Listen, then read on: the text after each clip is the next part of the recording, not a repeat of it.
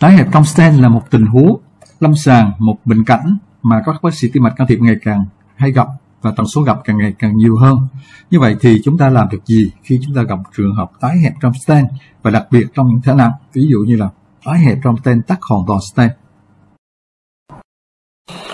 Trong slide này thì trình bày chúng ta cái định nghĩa về tái hẹp trong stent được đưa ra từ rất lâu năm 1998 và được định nghĩa à, tái hẹp đó là quá trình tái hẹp lại dần dần của một cái tổn thương đã được đặt stent trước đó do quá trình tăng sinh của mô à, tăng sinh à, màng trong mạch hoặc là mảng sơ vữa. Và trước đây thì cái phân loại sẽ được dựa trên cái kết quả chụp mạch vành. Trong cái slide này thì nhắc lại chúng ta cái à, phân loại của meran. Meran năm cũ trước đây thì cái phân loại này là dựa trên cái uh, giải phẫu hay hình ảnh học của cái uh, vùng tái hẹp trong stent. Thì cái cái kiểu đầu tiên đó là focal tức là khu trú. Thì, thì cái tái hẹp trong stent là nhỏ hơn 10 mm với cái hình ảnh minh họa phía bên tay phải. Các bạn sẽ thấy là tái hẹp mà khu trú thì sẽ có bốn kiểu. Kiểu thứ nhất là cái tái hẹp xảy ra giữa cái khoảng trong cái khoảng ghép giữa hai stent hoặc cái khoảng nối giữa hai stent. Là kiểu 1A, kiểu 1B là cái bờ của stent, kiểu 1C là khu trú trong lòng stent và kiểu 1D là khu trú từ hai bờ stent. Kiểu mẫu thứ hai đó là lan tỏa thì tái hẹp dài chiều dài trên 10 mm và sẽ có ba kiểu. À, kiểu thứ nhất là tái hẹp lan tỏa trong lòng stent, kiểu thứ hai là tăng sinh vượt quá ra ngoài 10 mm và vượt quá ra bên ngoài stent. Kiểu mẫu thứ tư đó là tắc nghẽn hoàn toàn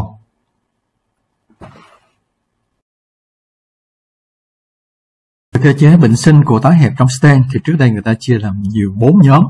Gồm có yếu tố sinh học yếu tố do động mạch yếu tố của do stent và yếu tố do kỹ thuật đâm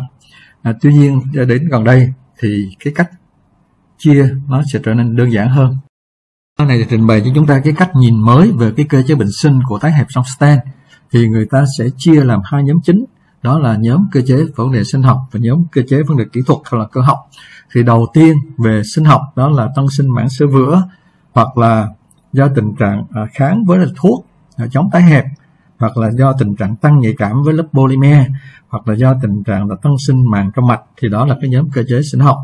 Về cơ chế về vấn đề kỹ thuật hoặc cơ học thì có là nhú cái mảng sơ vữa qua stent vào trong lòng mạch máu, hoặc là có tình trạng bị đứt gãy stent do vấn đề kỹ thuật hoặc là tổn thương vôi hóa, hoặc là do cái stent chúng ta không che phủ hết tổn thương, hoặc là Ờ, do stent không buông nữa hết, thường thường gặp trong những cái tổn thương vôi hóa. Thì như vậy, với cái hai cái nhóm cơ chế chính, nó sẽ đưa đến hai các cái phân loại mới và cái thái độ xử lý khác nhau. Trình bày chúng ta cái lý lẽ tại sao mà người ta là đưa ra cái phân loại mới, Watchman. Thứ nhất là cái phân loại trước đây của Meran thì dựa trên cái hình ảnh chụp mạch vành. Và chủ yếu lúc đó là dựa trên stent không phụ thuốc. Thì hiện tại thì à, đối với cái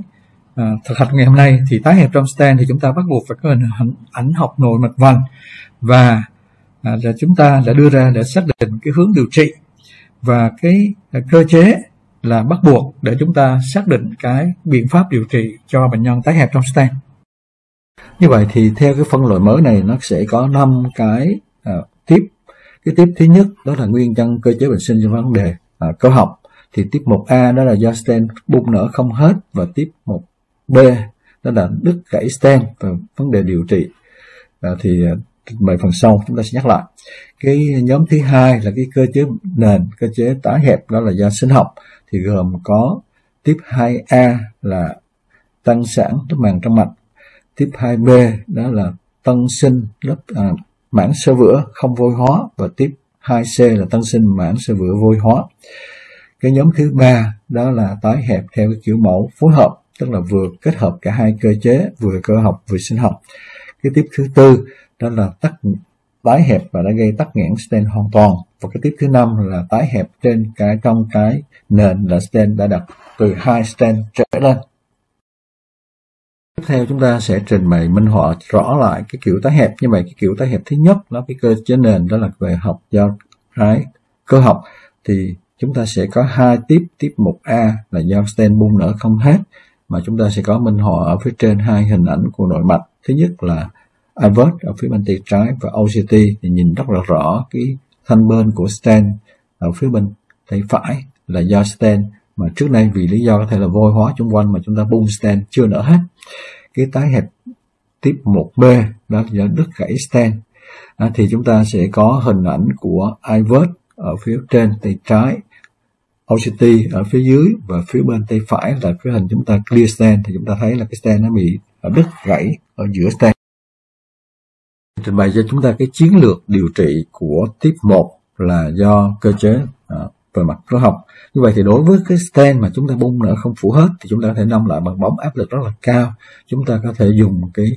atherectomy mà bằng à, laser à, ELCA chúng ta có thể dùng lithotripsy chúng ta có thể là uh, cắt gọt cái stent nó lại bằng rotor plater hoặc là cái hệ thống ờ, uh, OAS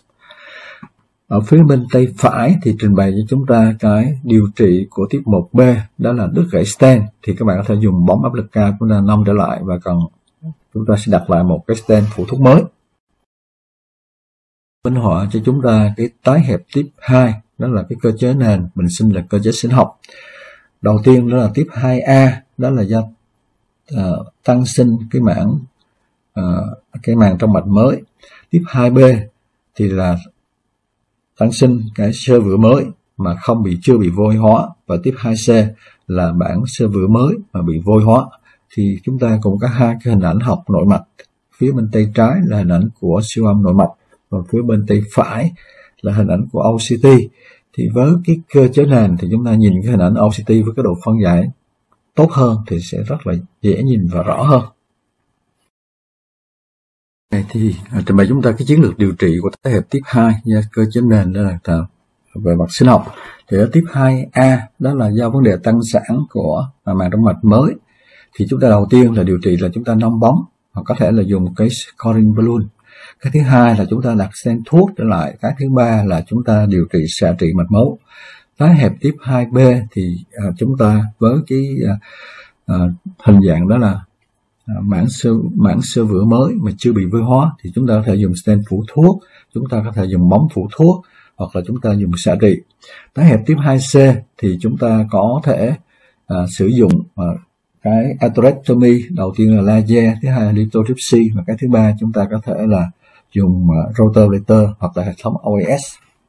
và cuối và tiếp theo chúng ta có thể sử dụng stent thuốc bóng phủ thuốc hoặc là xạ trị.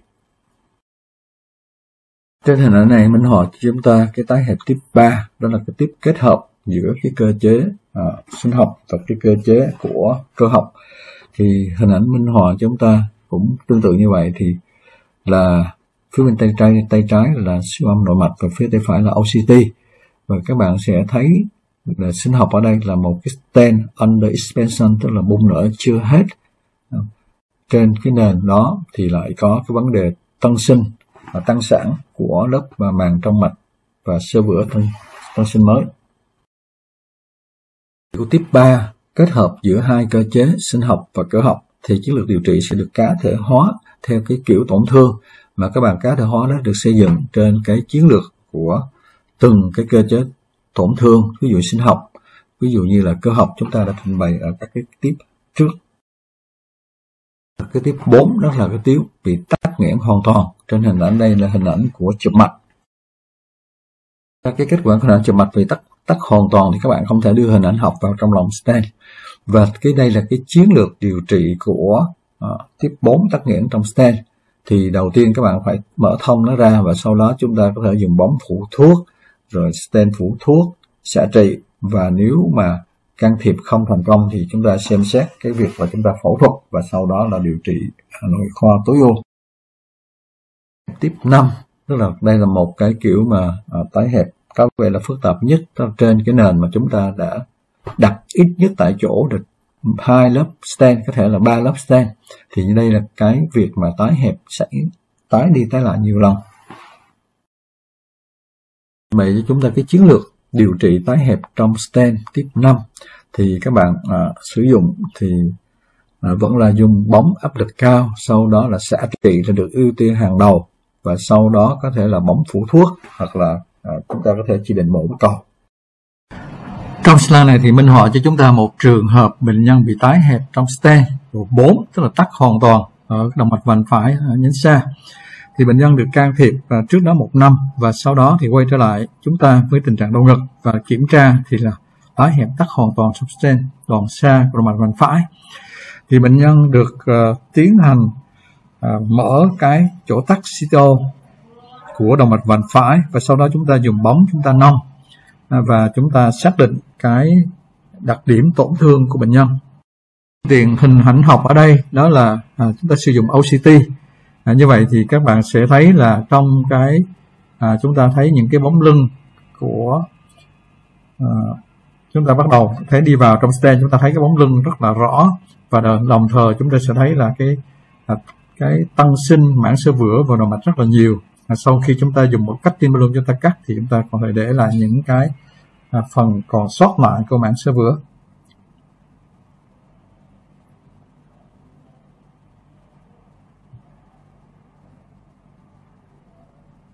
các đồng nghiệp sẽ thấy rằng là cái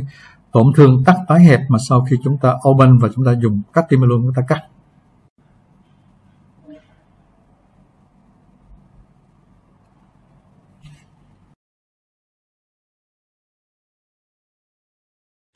Các đồng nghiệp sẽ thấy là các đồng nghiệp sẽ thấy là trên hình ảnh OCT này chúng ta thấy cái plaque burden của cái tổn thương tái hẹp tắc hoàn toàn. Nó còn lại rất là nhiều. Mặc dù chúng ta dùng cutting balloon, chúng ta dùng NC balloon để chúng ta nong nó ra.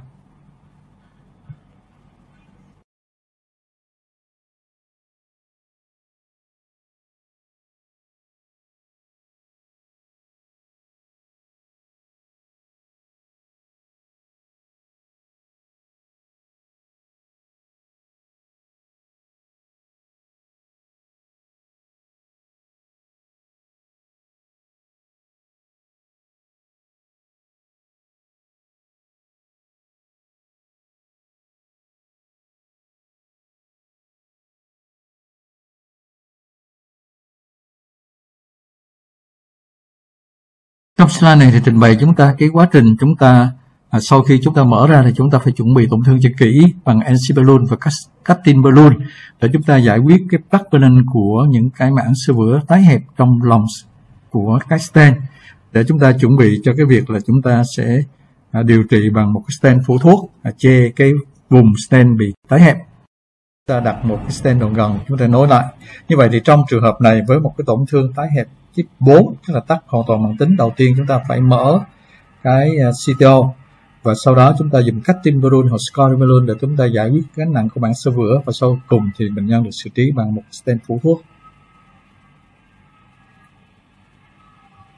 À, như vậy thì đây là cái hình ảnh của tổn thương à, trước khi chúng ta mở và hình ảnh tổn thương sau khi chúng ta mở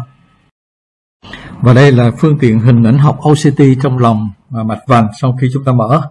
Thì vì cái người đang bơm thuốc và bơm thuốc để đẩy cái lấy máu thì cái lực không mạnh cho nó nó bị à, rung nhiễu. Tuy nhiên các anh chị nhìn sẽ thấy là trong lòng của mạch máu chúng ta thấy cái khung stent và chúng ta sẽ không thấy cái à, tổn thương tồn dư của những cái mảng sơ vữa tái hẹp bên trong. Đây kết quả này khá là tốt.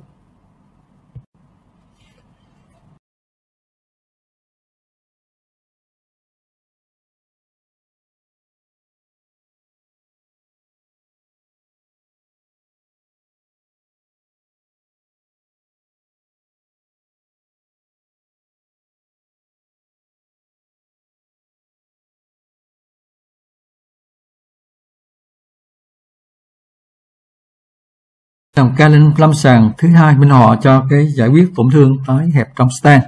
và bệnh nhân này thì sau khi đặt stent ở độ gần của nhánh liên trước sau một năm thì quay trở lại với một cái tình trạng đau ngực và một cái tổn thương là tắt hoàn toàn à, của cái stent đặt ở độ gần của liên thức trước. À, chúng ta sẽ thấy trên cái hình ảnh này đồng thời có một cái tổn thương của nhánh mũ ở đoạn giữa xa kèm theo. À, chúng ta thấy trên hình ảnh spider view thì các bạn thấy rất là rõ cái bóng stand đồng thời là tắt các cục ngay từ đoạn gồng và như vậy thì đầu tiên chúng ta phải open chúng ta phải mở được cái tổn thương CTO đó. Và sau khi các bạn mở xong thì chúng ta bắt buộc phải chúng ta phải dùng à, những cái chuẩn bị tổn thương à, preparation bằng bóng bằng scratching balloon à, để chúng ta chuẩn bị tổn thương. Trong slide này thì trình bày cho các bạn cái quá trình mà chúng ta chuẩn bị cái tổn thương tái hẹp sau khi chúng ta mở ra thì chúng ta phải dùng NC balloon và cutting balloon nhiều lần để chúng ta chuẩn bị cho cái à, tổn thương tân sinh ở trong cái lòng stent để chúng ta chuẩn bị cho cái việc mà chúng ta sẽ tiếp tục à, điều trị bằng một cái bóng phụ thuốc hoặc bằng một cái stent phụ thuốc. Và trong trường hợp này thì chúng tôi thấy là cái tổn thương khá là lớn và dự định là sẽ đặt một cái stent phụ thuốc trong lòng của cái stent tái hẹp trước đây và trong slide này thì trình bày cho chúng ta cái hình ảnh nội mạch vành của bằng iVert. Thì các bạn thấy đây là đoạn xa. Phía xa sâu xa sau stand thì chúng ta thấy là bình thường. Và chúng ta thấy bắt đầu chuẩn bị đi vào stand thì chúng ta bắt đầu có cái những cái plug ở trong lòng của à, mạch máu.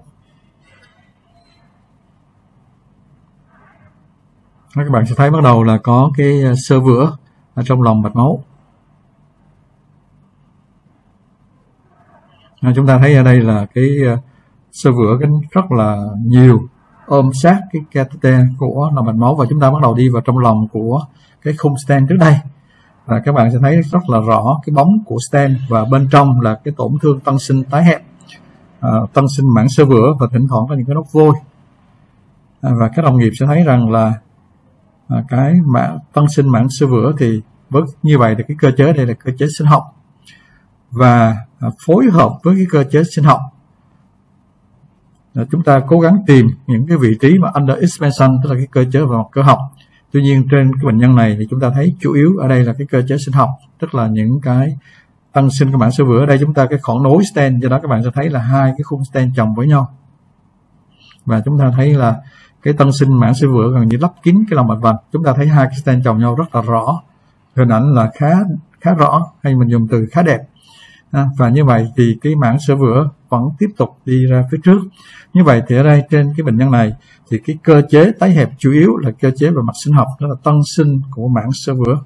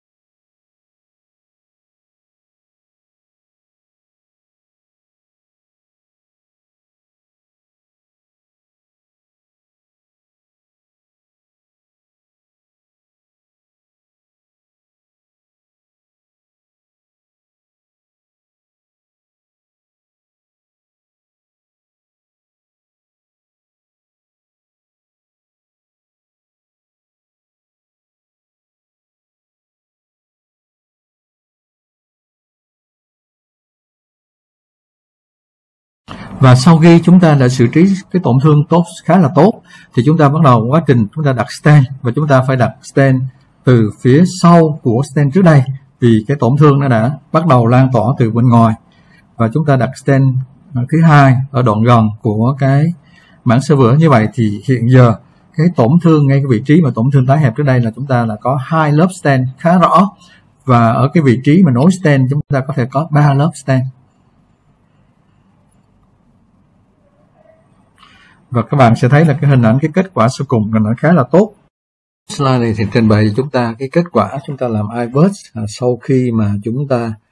đã đặt lại stand và cái hình ảnh trên x quang là khá là hoàn chỉnh. Thì như vậy các bạn sẽ thấy là ngay từ đầu vô chúng ta đã thấy hai lớp stand.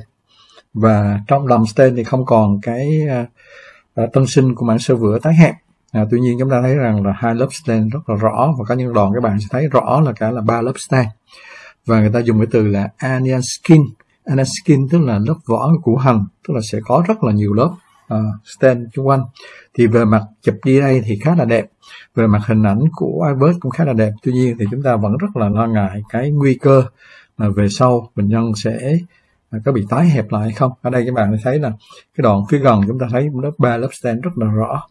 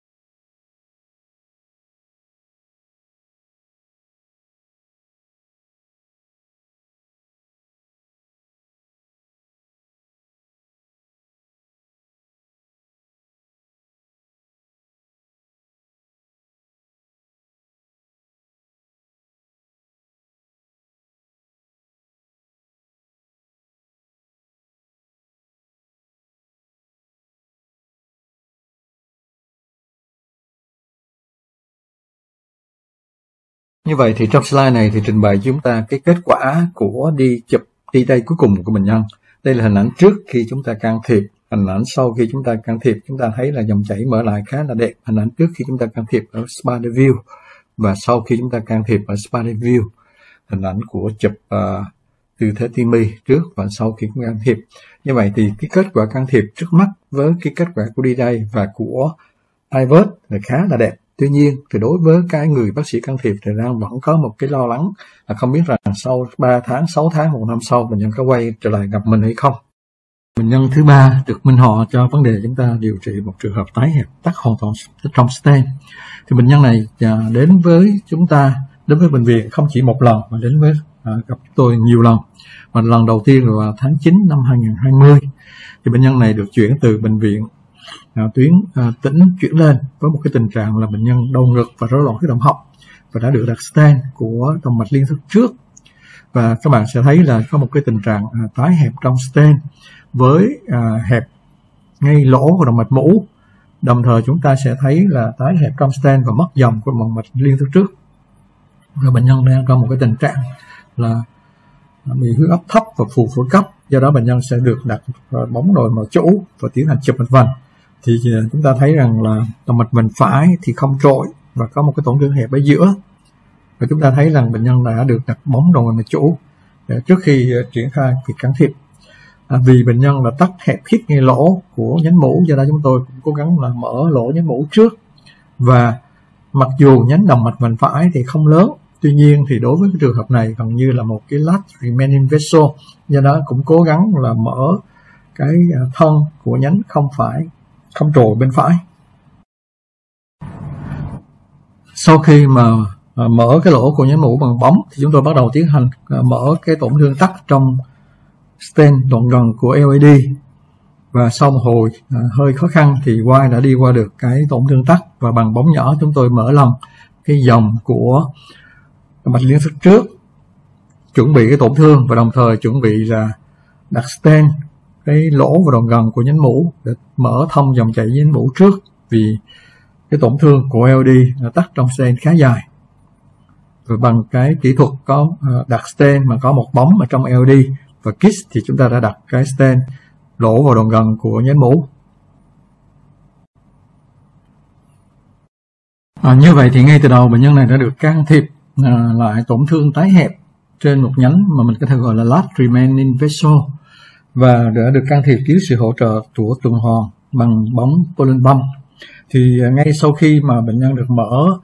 động mạch mũ ra, thì tình trạng huyết động học ổn định, nhịp tim chậm trở lại và huyết động huyết áp đã ổn định.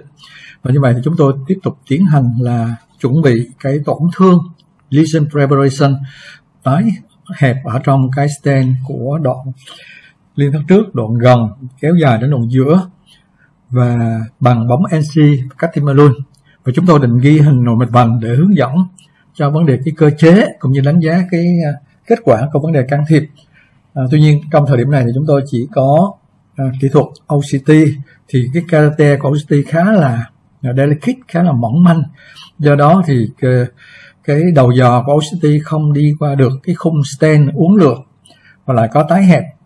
À, do đó thì trong trường hợp này chúng tôi phải can thiệp mà không có sự hướng dẫn của hình ảnh học nội văn và đây cũng là một cái à, yếu điểm trong cái lúc can thiệp này.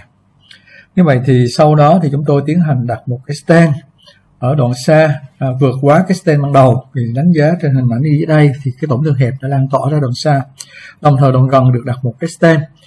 vì phía trước cũng có tổn thương tái hẹp và lắp vào trong đoạn gần và lỗ của LD đồng thời như vậy như vậy chúng ta đã tiến hành can thiệp cái tổn thương bifurcation của Lepman với kỹ thuật high stent và bệnh nhân được kích nhiều lần và sau đó được BOT của cái à, uh, Lepman và cái BOT và như vậy thì cái kết quả sau cùng của bệnh nhân rất là tốt trên hình ảnh của DNA thì trong slide này trình bày cho chúng ta cái kết quả sau cái lần can thiệp đầu tiên trên bệnh nhân tái hẹp tắt hoàn toàn stent này. Thì cái với cái kết quả của đi chụp DNA thì chúng ta thấy kết quả rất là tốt à, dòng chảy TIMI 3 à, không thấy hiện tượng à, tái hẹp thùng lưu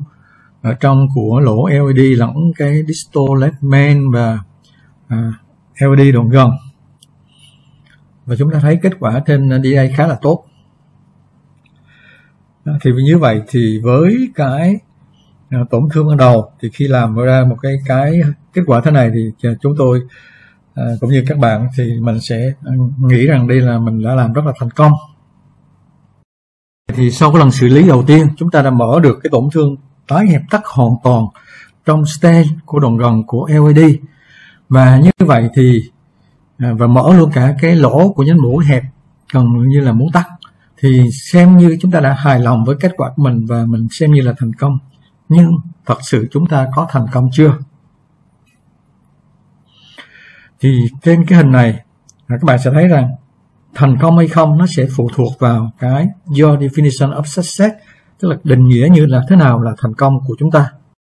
Và điều này rất quan trọng sau khi chúng ta can thiệp những tổn thương tái hẹp lại trong lòng stent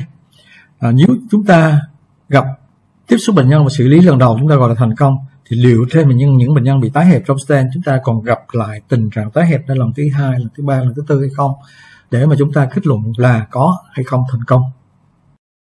và điều này xảy ra đúng như vậy sau một năm, tức là lần đầu là tháng 9 năm 2020 thì lần thứ hai là tháng 10 năm 2021 thì bệnh nhân quay lại với một tình trạng đau ngực và huyết động kỳ này thì tương đối ổn định hơn, men tim tăng và khi chụp lại, kết quả của động mạch vành trái thì kết quả lại cũng giống như cái lần đầu tiên, tức là tình trạng hẹp khít lỗ của nhánh mũ, đồng thời tắt hoàn toàn trong stent của à, LD đoạn gần và giữa. Và có lẽ bệnh nhân đã thích nghi do đó lần này chúng ta sẽ không thấy cái tình trạng mà suy tim cấp hoặc là choáng tim.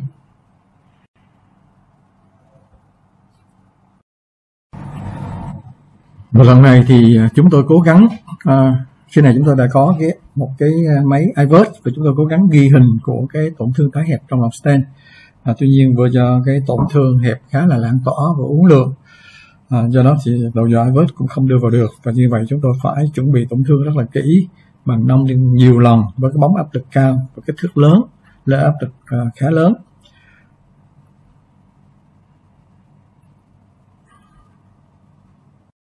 Vậy thì lần này chúng ta đã đo được cái à,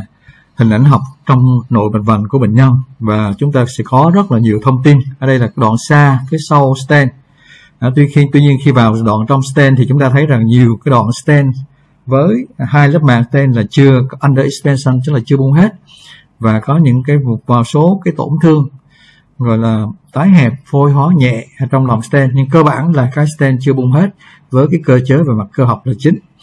À, do đó thì trong cái trường hợp này thì cái việc là chúng ta phải điều trị làm sao chúng ta cố gắng mở cái khung stent hết và các các bạn nhìn phía bên tay à, tay trái thì chúng ta sẽ có các cái hình tĩnh mà nó có đo đạt cái nó chỉ cho chúng ta là cái stand boom chưa hết ở trong hai cái mặt cắt. Chúng ta thấy là ở những cái khu vực kể cả chúng ta đặt thêm một cái stand nữa rồi stand vẫn chưa bung hết. Thì đây là cái cơ chế chính của bệnh nhân. À, thành ra chúng lần này chúng ta phải làm sao chúng ta mở được những cái under expansion.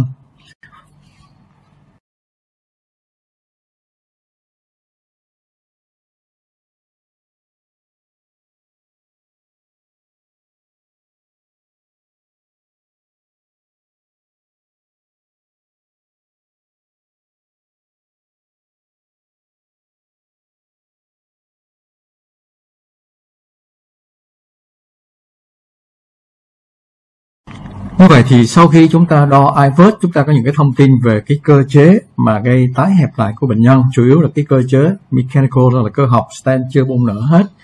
À, nhiều hơn là cơ chế của sinh học. Do đó chúng ta sẽ chúng tôi sẽ dùng bóng uh, NC 2.75 3 lên áp lực rất là cao 20, 22 thậm chí 24 để cố gắng mở bung cái những cái chỗ under expansion đặc biệt là chúng ta đang hai lớp stent và sau đó chúng tôi dùng bóng phủ thuốc ở đây các bạn thấy là bóng phụ thuốc chúng ta kiss ở ngay cái lỗ của nhánh mũ distal left main và LED và sau đó chúng ta sẽ dùng bóng phủ thuốc thay vì chúng ta đặt một cái DES thêm một lớp stent nữa, thì chúng tôi sẽ xử lý. Trong trường hợp này chủ yếu là bằng bóng phủ thuốc và chúng ta sẽ nông trở lại và áp cái phủ thuốc lên để chống tái hẹp dọc theo các cái khung stent cũ và đây là cái kết quả của cái lần can thiệp lần này. Chúng ta không sử dụng DES mà chúng ta dùng bóng phụ thuốc DCB Là chúng ta sau khi uh, chuẩn bị tổn thương lesion preparation bằng NC balloon bằng uh, cách bằng à, uh, balloon rất là cao để mở những cái under expansion và dùng bóng phụ thuốc. Thì các đồng nghiệp sẽ thấy rằng là dòng chảy vẫn tái thông lại trở lại TMI 3 và vì nó dùng bóng phụ thuốc cho nên chúng ta sẽ thấy cái thành mạch máu nó tương đối, nó không đẹp giống như lần đầu. Và tuy nhiên, lần này chúng ta không thể đặt thêm một lớp stent vào bên trong nữa. Đặc biệt là khi cái cơ chế về cơ học tài chính. À, do đó đây là cái kết quả cuối cùng. Ở đây là kết quả của IVERT mà sau khi chúng ta xử trí bằng NC balloon và bóng phụ thuốc, thì các đồng nghiệp thấy là cái khung stent cũng đã mở ra khá là tốt, mặc dù là hai lớp stent dọc theo cái tổn thương và thật sự là nhiều cái khu vực cũng chưa mở hẳn. À, tuy nhiên vẫn tốt hơn là cái kết quả của của lần làm thứ nhất. Bởi vì cái tổn thương bệnh nhân khá là lan tỏa khá là nặng và chỉ được sử dụng bóng phụ thuốc mà không có đặt stent. Thật ra là sau khi mở xong thì khoảng à, hai ba ngày sau chúng tôi chụp lại để đánh giá cái dòng chảy trở lại. Thì thấy dòng chảy vẫn còn giữ nguyên rất là tốt và bệnh nhân này được tiếp tục theo dõi. Và cho đến thời điểm này thì à, vẫn còn khá sớm để mà chúng ta đánh giá được cái kết quả. Tuy nhiên chúng ta thấy rằng trong một số tình huống chúng ta bắt buộc phải dùng thuốc à, bóng phụ thuốc để thay thế ds khi mà cái số stent chúng ta đã đặt thành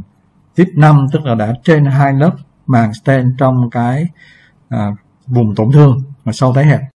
Và như vậy thì chúng ta đã gặp lại bệnh nhân lần thứ hai với một cái tình trạng giống như lần đầu. Đó là một cái tình trạng tái hẹp và tắc hoàn toàn trong stent. Và lần này may mắn hơn chúng ta đã thực hiện được hình ảnh nội mạch vành. Và chúng ta thấy rằng cái cơ chế chính là về mặt cơ học under expansion của stent. Mà bây giờ đã là hai lớp và chúng ta cố gắng cải thiện được cái tình trạng à, under expansion.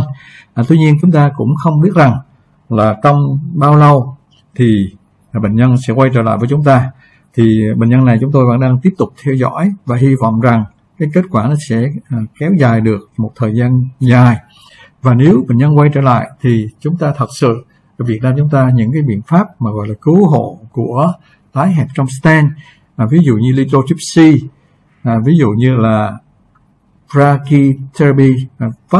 vascular brachytherapy tức là xạ trị trong lòng mạch máu thì chúng ta hiện tại vẫn chưa có và đây cũng là một cái thách thức cho tim mạch can thiệp Việt Nam như vậy thì chúng ta đã đi đến phần kết luận cuối cùng. Thì ngày nay các bác sĩ tim mạch can thiệp thì càng ngày càng gặp những trường hợp tái hẹp trong stent với một tỷ lệ không nhỏ và tiên lượng và dự hậu và kỹ thuật của can thiệp tái hẹp trong stent thì kém hơn và khó khăn hơn là một can thiệp mới. À, phân loại tái hẹp trong stent thì trước đây chúng ta theo Meran là dựa trên hình ảnh chụp mạch vành và gần đây thì lại theo phân loại Wasman là dựa trên hình ảnh học trong lòng mạch vành gồm các IVET và OCT để xác định cơ chế tái hẹp và đưa ra định hướng điều trị. Về phương tiện điều trị tái hẹp trong stent thì gồm có bóng nông, bóng NC, bóng scoring, cutting balloon, bóng phủ thuốc, stent phủ thuốc và các cái dụng cụ cắt gọt mảng sơ vữa như router plater, à, ví dụ như là dụng cụ cắt gọt bằng laser, à, ví dụ như lithotripsy hoặc là mổ bắt cầu và đặc biệt với cái tái hẹp đi tái hẹp là nhiều lần, thì biện pháp là điều trị xạ trị trong lòng mạch máu là một phương tiện quan trọng. Cái hẹp trong stent độ 4 và độ 5 thì không phải là hiếm gặp và theo cái thời gian thì càng ngày càng nhiều và việc xử trí thì rất là khó khăn và nguy cơ tái phát lại rất là cao. Chiến lược xử trí thì được quyết định bởi cái cơ chế tái hẹp được xác định bằng hình ảnh học nội mạch là bắt buộc. Tái hẹp nếu do cơ chế sinh học thì thông thường chúng ta sẽ xử trí bằng cutting balloon và scoring balloon trước. Sau đó chúng ta có thể phối hợp với là bóng phụ thuốc hoặc stent phụ thuốc. Nếu tái hẹp do cơ chế cơ học thì phải được xử trí bằng bóng NCF lực cao. Rồi chúng ta mở cái chỗ mà under expansion của stent. Và trong những một số trường hợp thì cần phải có dụng cụ cắt gọt. Là mảng sữa vữa ví dụ như atherectomy à, hoặc là à, lithotripsy mà bằng phút quay để chúng ta phá cái tổn thương sơ vữa vôi hóa bên ngoài hiện tại Việt Nam thì chúng ta chưa có lithotripsy và chưa có uh, điều trị xạ trị trong lòng mạch máu là những phương tiện điều trị cứu hộ cho tái hẹp trong stent độ 4 và độ 5. À, xin cảm ơn sự chú ý lắng nghe của các bạn.